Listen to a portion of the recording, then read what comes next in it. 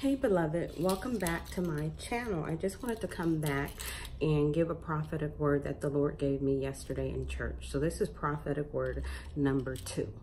May I ask you to subscribe to my channel if you haven't already done so and click the little button so you can be alerted when new videos come out.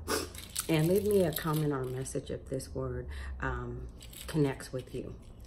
So the Lord said yesterday in church, he said, um, as the prophetic word began to come out, he said that he was going to begin to change times and seasons. And so I know that in Daniel, we see that the enemy can do that. But in the book of Exodus, the Lord told the children of Israel, this will be a beginning of year to you the time when they celebrate Passover. That's where it came from. So he started their year over. So God, of course, can shift times and seasons the enemy has nothing new. He can only do what God said. But I just wanted to lay that foundation. So God said he's going to begin to shift the times and seasons. And he said there's things that the enemy has been doing in the lives of people in the church, uh, in the nation and the nations of the world, his people that had looked like, it looks like the enemy is winning. But God has said, but God said, I have let him, allowed him to play his hand I have allowed him to show his hand and to play his hand. But soon you will see that it's like a game of chess. I've been playing with him so that he can play his hand, so that he can reveal what he has, and I will do a checkmate. And I don't even know about chess, but then several people came up to me and texted me and said the Lord had spoken to them in about things going on in their lives using that same um, analogy checkmate. Is that the right word? Checkmate and checkers. And so he said it's like a game of chess and he's going to do a checkmate. And the reason why he's doing it is so that he can get the glory. Because had he let it go in another way, then you might take the glory. Then we might take the glory.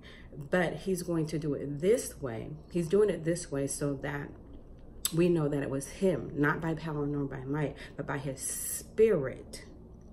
And then um, I heard him say, and what came forth was that he's going to change as he shifts things. Powers that are up are going to come down, and powers that are down are going to come up on a political arena in in the nations. He said he's shifting money, so money is going to be shifted times and seasons and different things that it's a, it's a worldwide time of shifting a time that God and he also said it's already been it's already shifted in heaven. And he said I have made you aware for I do nothing unless I show my prop my servants the prophets first. So I've made you aware. So stay alert and you will see that the word have I that I have spoken to you is real. I will shift things. I will will begin to shift them in the nations. I will begin to shift things with my people where the enemy thought he had you, where it looked like you had lost, where it looked like there was nothing else could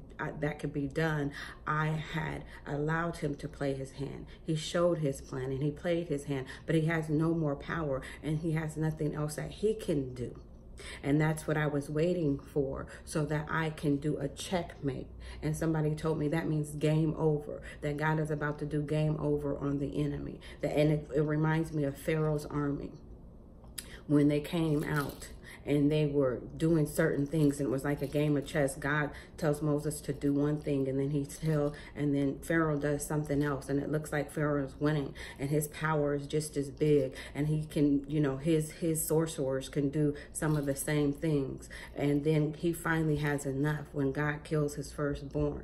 And so we think. And then he finally releases them. And then the children of Israel get to the sea and and Pharaoh's army is coming after because even though he let them go, he got in his mind to go after them. Like, no, we're not going to let them go. Are you kidding me? Even though in, in the in in the midst of defeat, he did it for a minute, but then he said no, and he came after them.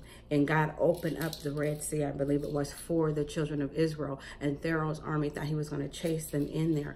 But what happened was God swallowed them up in the sea where he made a wall of water for the children of Israel, but he swallowed them up. That's checkmate. That's game over. And so this is what God is saying and it reminds me of one of the psalms and i will link the psalm because i can't remember it i'll also link exodus um, where he said this will be a beginning of year, year to you when he did the passover so um, the children of Israel have the their civic year, which is in September. That's what we just entered into 5780. But the Passover is also the biblical or their their religious new year, and they celebrate both.